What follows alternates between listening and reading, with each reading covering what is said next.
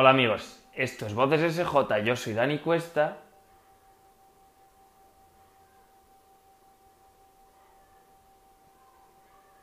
Y hoy voy a hacer una contradicción, hablaros del silencio, cuando en realidad el silencio hay que escucharlo, el silencio hay que vivirlo y el silencio no hay que interrumpirlo con palabras. Hace poco, cuando hacía yo un retiro de estos de silencio, una persona me dijo, tenéis que actualizaros los jesuitas. No podéis seguir haciendo estas experiencias de estar callados tanto tiempo y de no hablar y de encerraros en vosotros mismos. Y reconozco que pensé, qué poco ha estado esta persona en silencio y qué poco entiende de actualizarse.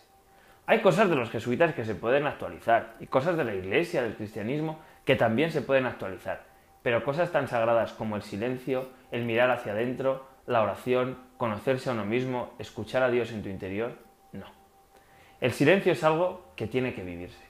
Vivimos rodeados de ruidos, de historias, dando voces, escuchando música y de vez en cuando tenemos que ser capaces de parar, de quitar la radio del coche y escuchar el motor, de hacer silencio en nuestra vida y conectar con lo más profundo de nosotros mismos que nos lanzará hacia ese Dios que está vivo en el mundo y que le podemos escuchar y ver en lo que hacen otras personas, en las buenas acciones y en tantas cosas como los cristianos hacemos, pero también en nuestro interior, en el corazón, en el lugar donde se medita la palabra de Dios, en el lugar donde te sientes mucho más tú porque estás mucho más acompañado por ese Dios que lo envuelve todo y lo es todo desde el silencio.